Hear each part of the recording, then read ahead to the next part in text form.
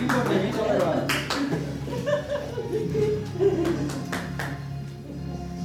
To byla paní Jiřina Polinová. Jako poslední, samozřejmě ne v pořadí, ale jako poslední teď přicházející, bude paní Maria Ramešová.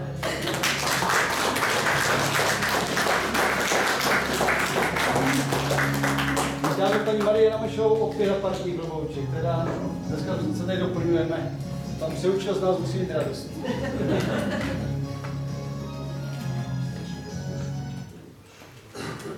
Takže přátelé, půjdeme do druhého kola, což bude takový jednoduchý kvíz eh, z filmů pro pamětníky dámy. Jistě znají řadu filmů. Takže my vám vždycky tady promítneme nápovědu. Ano?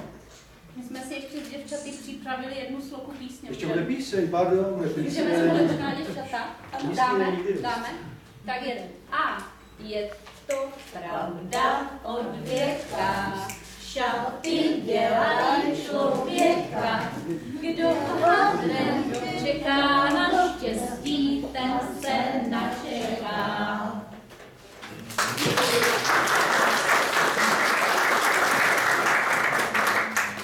Přátelé, to není Mr. Kolem, ale Superstar tady Takže pojďme k tomu kvízu, já si dovolím. Paní redaktorka Anna Výborně se tam promítala trošičku nevadí. Půjdeme na první otázku pro paní Věru Dingovou, která herečka hrála popelku ve filmu, to mi víte vyfocenou, tři ožičky pro popelku. To je známá pohádka. Libuška Šafránková, výborně. Aby si publikum taky užilo zde, přítomná paní Hrudková bude mít jedovaté dotazy, jak to je zodpovědět, obdrží medvěda ukáž, plišová medvěda bambo. Doufám, že nebudou tak jedovaté, teda, to bych mi rada. Vaše příbězky budou ozdobeny tímto rozplněným zvířetem. Takže já se vás zeptám, jak se jmenovala princezna, která šla na plese tančit eh, s princem, s panem Trávníčkem. Máte Hrála jí paní Na Helena Růžičková. Hrála jí Helena Růžičková. Jak se v tom v té pohádce jmenovala? Vzpomene si někdo? Ano, No. Medvěd má svého majitele, výborně. Mužský hod. A teď tam bude otázka pro paní Výborně. Který herec hrál roli krále Miroslava ve filmu Pišná princezna? Přeučil. Hrál tam záporný roli. Vladimír Rád. Vladimíra, výborně. Máme doplňující otázku. A vás se zeptám, přátelé, kdo, která herečka hrála princeznu Krasomilu?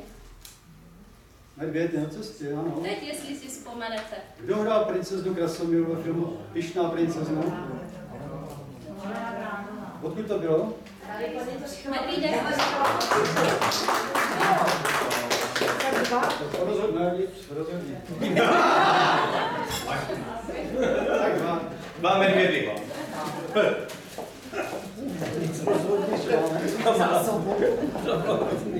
Tak dva, ne, nic rozhodně. Tebe se ten žiár stává normálně, jsem někde plnou, člověče. Stačí málo. Nic. Půjdeme na otázku číslo 3 pro paní Janu Brezinovou. Kteří dva známí herci hráli v televizní komedii Bohouš, tam jsou na obrázku. Publikum počká, ještě bude něco nadělat. Ano, pan Sovák. No! A druhý? Tak ví někdo druhého herce z publika? Takže je to pan Menšík a Jiří Sovák. Jiří Sovák, pan Vladimír Menší. Pořád nic se neděje. Pojďme na doplňující otázku, prosím. A doplňující otázka zní, jaká rasa hrála v tomto příběhu hlavní roli? Jaká rasa to byl za pejsek? Bernardín. Rozhodně ne. Dáme otázku paní Jiřině Polinové, naší zpěvačce. Který známý zpěvák hrál roli prince ve filmu Princezna se zlatou hvězdou na čele? Moment, to, to, je- to je pro dámy tady. Ano, Pepík Zima samozřejmě. Máme doplňující otázku? Který herec stvárnil v této pohádce krále Kazi světa? Kdo ho hrál krále Kazi světa? Boží vole kráva, hlava pomazaná. Vzpomenete si? Ano, tam slyším nějaké, nějaké růžky. Nějaké nesmělé... Ano, výborně. Nesmíte tady tady jedně odváží dorazí.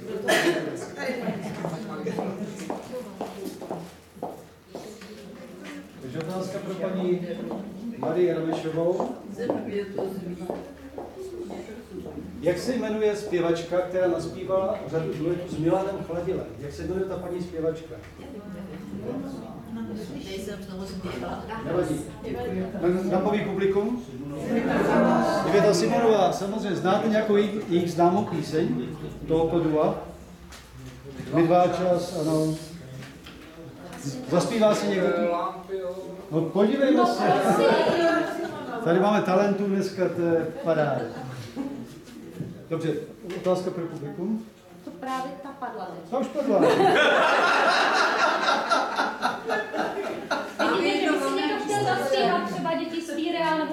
Opět předbíhám svou dobu. Půjdeme na druhé kolo, čili paní Věra Dingová nám řekne, jak se jmenovala herečka, kterou sváděl herec Oldřich Nový, jakožto Kristián, ve filmu Krist... Adina Mandlová. A já se zeptám, která herečka stvárnila jeho manželku, toho pana Nováka v podstatě, takže která herečka hrála Kristiánovu manželku? Vzpomenete si? Paní Novákovou. Paní Novákovou. Jana Dítětová, ne? Ne, ne. To nebyla. Nataša Golová, výborně.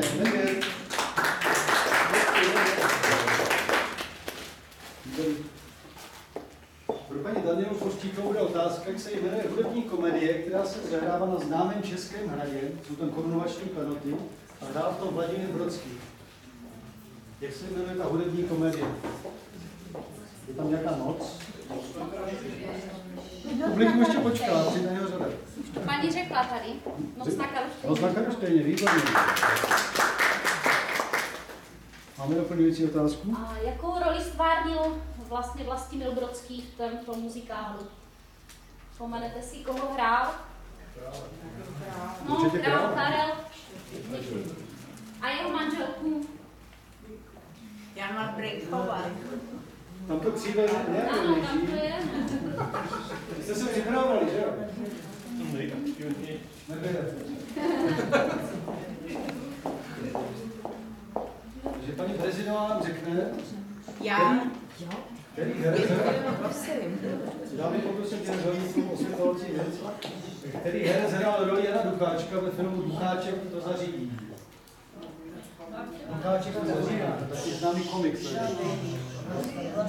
Vlasta Burian.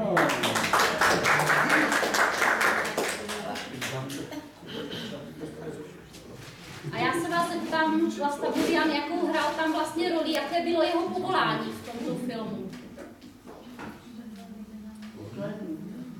No blíží se to tomu. Blíží se to? Jaký úředník to byl, ale jaký úředník? To ne.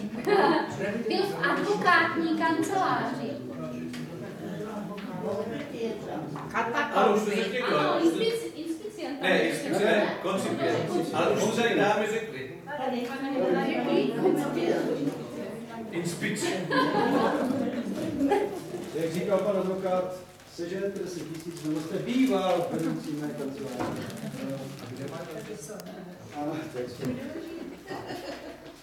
Pro paní Bolinovou tady máme otázku, která se směřovala na zde nepřítomnou paní Hruškou, která se klaví teďka v bouřlivých vlnách. Můžeme, že šťastně tedy. Jakou roli hrála paní Hruškou ve známé pohádce? Ta pohádka už tady dneska jenom zazněla, ale Popelku, samozřejmě.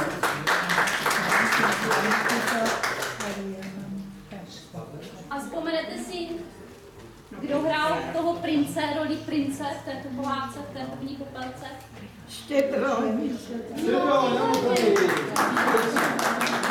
Mu tady.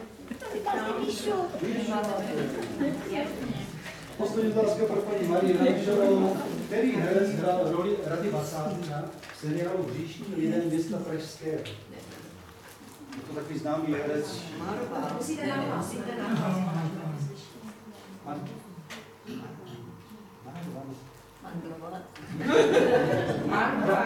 Pan Marvan, Jaroslav Marvan. To nevadí, já taky.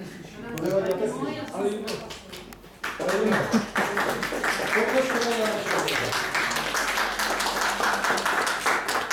Mi doplní, A pan. Rada Vacátko měl dva spolupracovníky, své dva detektivy, a ty si vzpomenete, jak se jmenovali?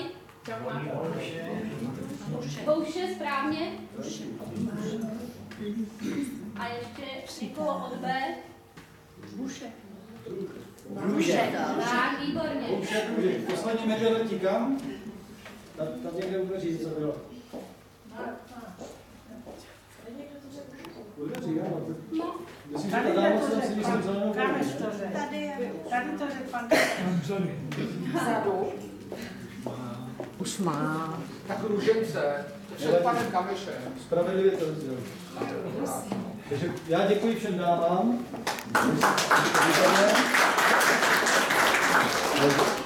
Děkuji publiku, které se, někteří z nich se obohatili, tedy blahopřeju. A nastane úkol pro porotu, která zatím tady pouze testovala koláčky, že Tomáši? Výborný. Teď začnete makat, takže porota se poradím, my dáme chvilku hudby, budete Ne, to. Paní Jana Hrušková bude tak velmi laskavá a Chvíli nás tady bude bavit a pánové a dámy z poroty přidělí body, politická je tam napsáno. Paní Brožová se dostaví taky, kde jsme to měli, takže jsem pošli. Paní Brožová, pojďte taky do poroty, pojďte, pojďte. A tam se, máte tam místě. Tak lehce vám to nejde. Dobře. My neumíme počítat, ne? Jak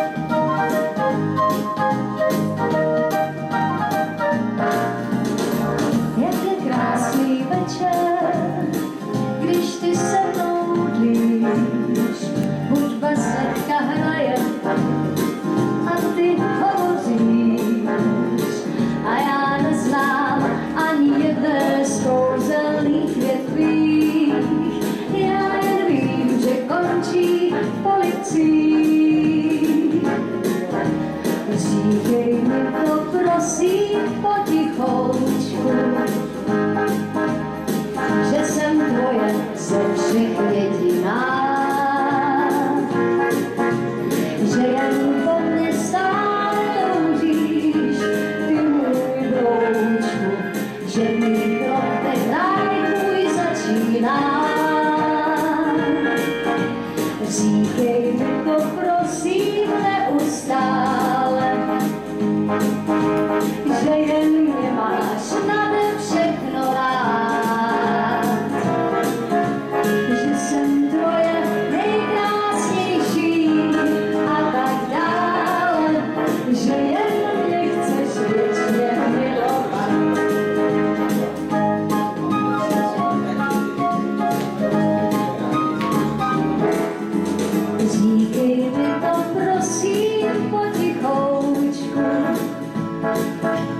že jsem tvoje ze všech jediná. Že jen po mně stále toužíš, ty můj broučku, že v mých lotech ráj tvůj začíná. Říkej mi to prosím neustále,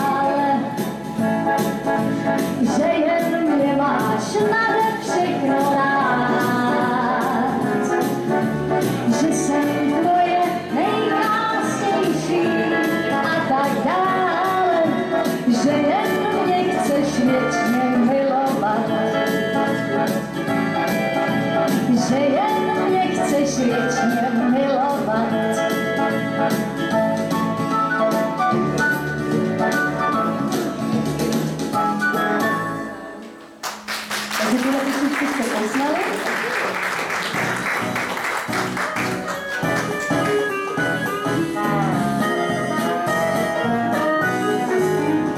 Babičko, vidě mi splníš přání, natoč svůj stařičký gramofon. Zanech teď na chvilku štrikování, řekni mě, jak se tančí Charleston. Představ si bávy, jak holky budou kulit oči, až jim zítra povím, jak se to tancuje. Už to vidím, jak se kluci okolo mě točí. Oh yeah, oh yeah. Babičko, prosím tě, nech ten svetr. Do Vánoc času dost, nač ten schon. Já ti ho upletu zítra metr. A co chceš, budu večeřet a po sobě uklízet. A tak všem tě poslechnu a hned no čistě báby je mě nauč Charleston.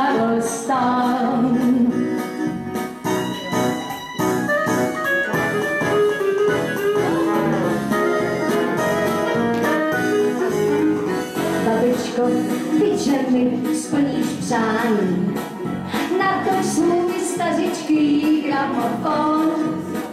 Zanech teď na chvilku štrikování. Řekni mě, jak se tančí Charleston. Představ si pávy, jak holky budou kulit oči. Až jim zítra povím, jak se to tancuje. Už to vidím, jak se kluci okolo mě točí. Oh yeah, oh svetr. Do Vánoc času dost, nač ten schon. Já ti ho ukledu zítra metr. A co chceš, budu večeřet a po sobě uklízet a tak všem tě poslechnu a hned to čestně mávím, jen mě nauč Charleston.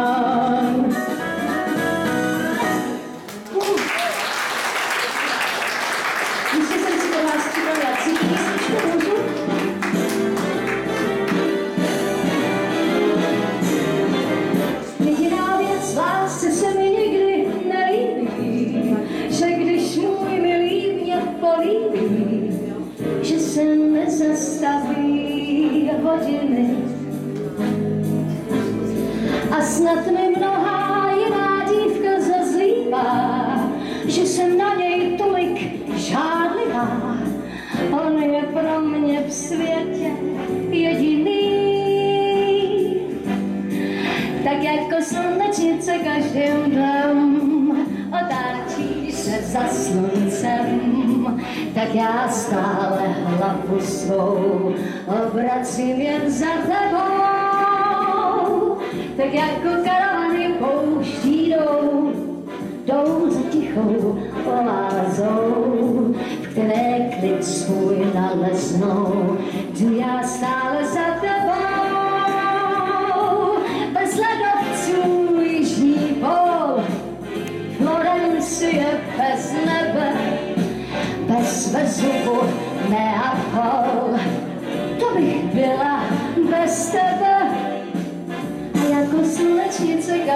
dnem otáčí se za sluncem, tak já stále hlavu svou obracím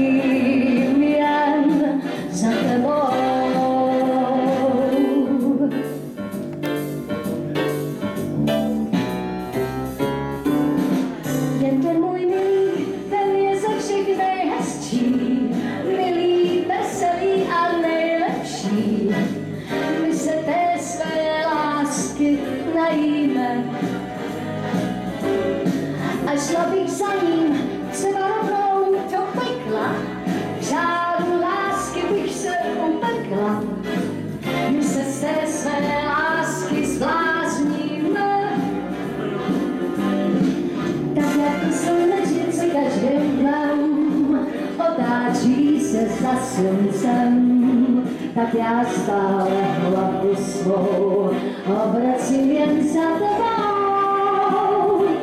A jako karavany pouští jdou, jdou za tichou oázou, které klid svůj naleznou. Jdu já stále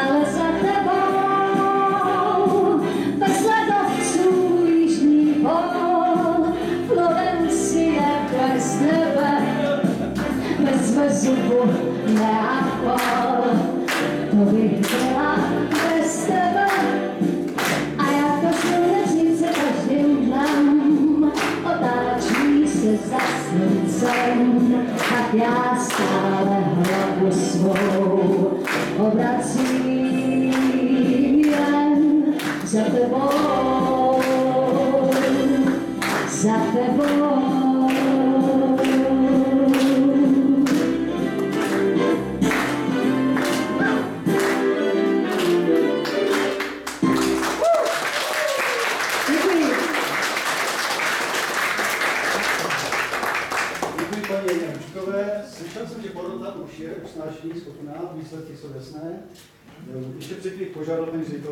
slov na závěr, než vypukne fotografování, after party.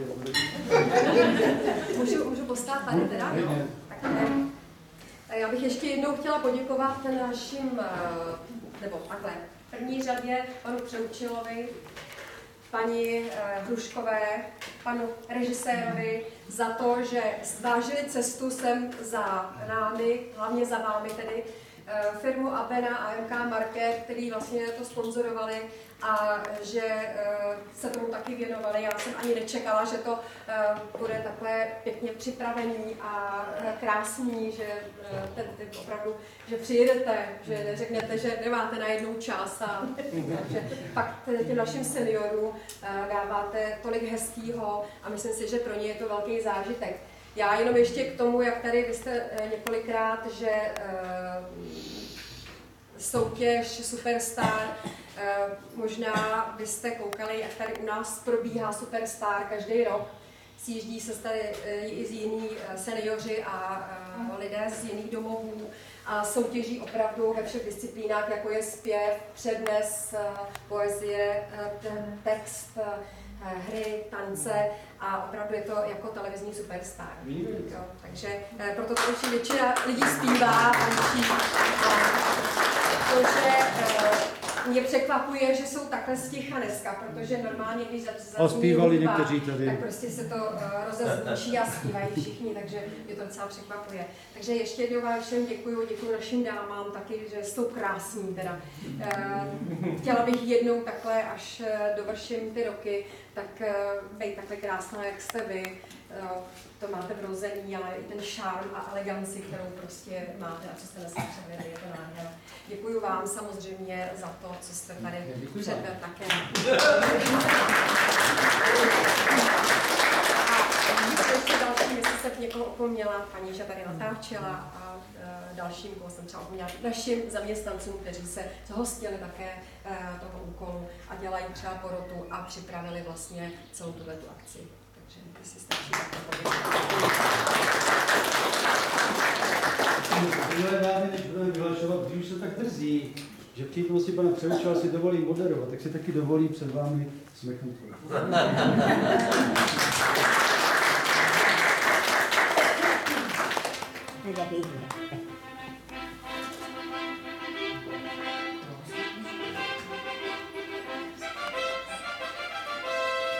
A je to tady. Požádám paní Valešovou, aby byla tak laskavá. Vyhlásila dámu, která skončila na třetím místě. Zapečetě na obálka.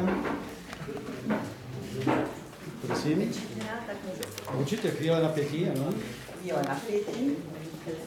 Takže, milé dámy, na třetím místě se umístila s krásným bodováním 690 bodů paní Březinová, Anička.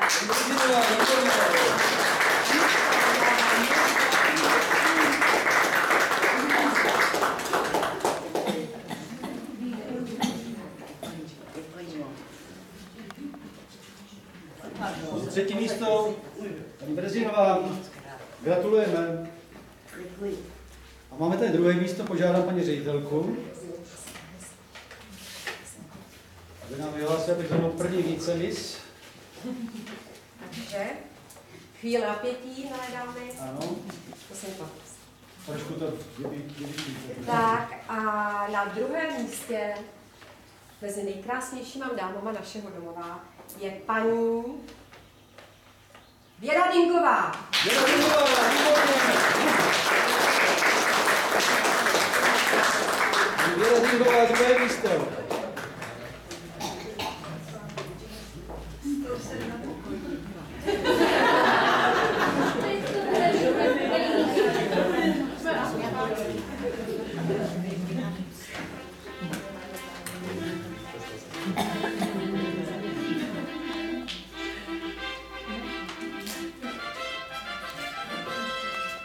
Tady. Kdo se stane mis Staré koleno pro tento rok v Novém Strašecí? Nám řekne pan Přeluč. Dámy a pánové, vážení přátelé, je mou milou povinností a považuji si to za velkou čest vyhlásit prvé místo soutěže Miss Staré koleno Novém Strašec otvírá obálku a na prvém místě se umístila Daniela Forstíková.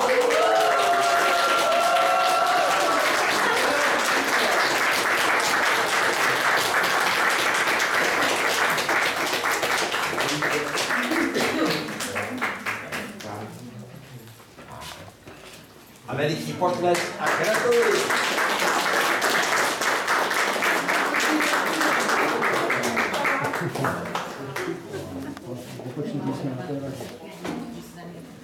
Tady dostanete něco na zub? Ale jak už jsem řekl, nikdo, nikdo neprohrává, všichni vyhrávají, protože se budete klasovat, odmění dámy. Já bych chtěl říct, že je úplně kouzelný to, to, že jsme vůbec se tady sešli, soutěžili. Já znám ze svého života, že není důležité vyhrát, ale zúčastnit se. Věřte, že vím, o čem mluvím, protože na všech sportovních závodech jsem byl vždycky poslední. Byl jsem jediný, kdo hází granát dozadu a podobně. Jsem moc rád, že jsem poznal vás všechny a milé dámy, vám dvou, dovolte, jestli vám to nevadí, že vás takovýhle tlouští kovejme. Byli jste výborný, výborný. A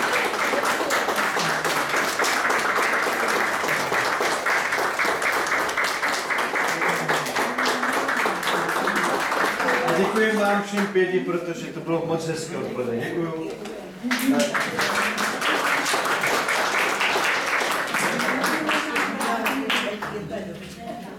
Takže dámy a pánové, myslím si, že kouzelný závěr. Příští řemený domovatel má připravené nějakého představu. Takže to je s újmou. Já